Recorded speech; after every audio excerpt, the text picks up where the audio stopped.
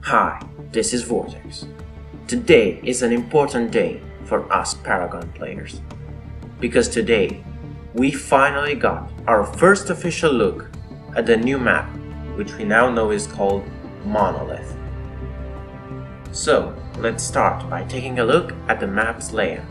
The first thing you may notice is that the mid lane is much more curved in this map, which helps break line of sight easier than before.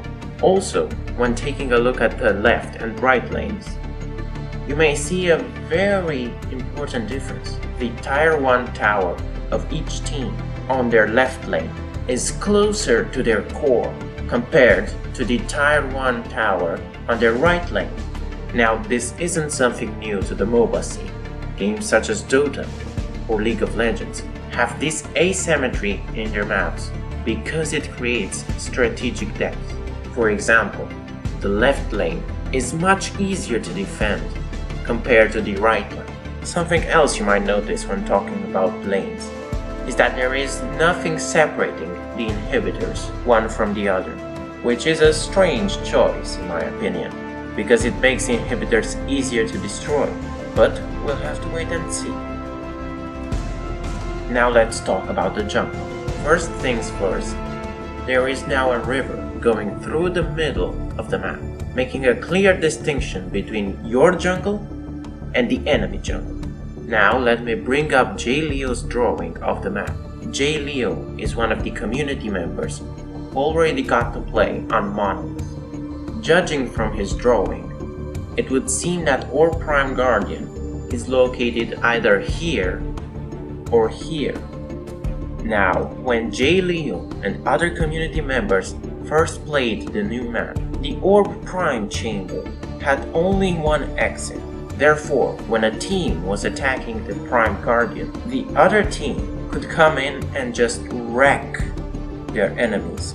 The first team has no way out as the second one can easily block the exit. Therefore, we now have two ways into the chamber, one facing each core, but this is a major problem as it means that one team has easier access to the Prime Guard.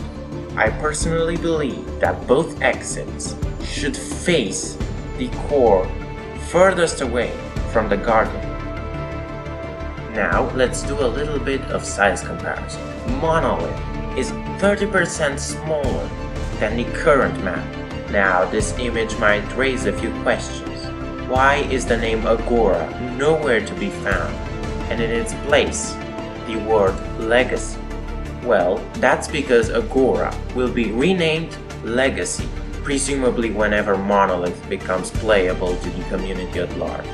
In the near future, there will be six other articles relating to Monolith the safe lane, the mid lane, the off lane, welcome to the jungle, systems overhaul, and finally, art and visual design. I personally think these articles will come once a week. Therefore, we will be able to play Monolith in at the very least 6 weeks. That's more or less all the news we got about Monolith today. For more information on the new map, I put the links in the description below to an article on Paragon's website, YouTube videos from awesome community members which got to play Monolith, and also J. Leo's map. This was Vortex, signing off.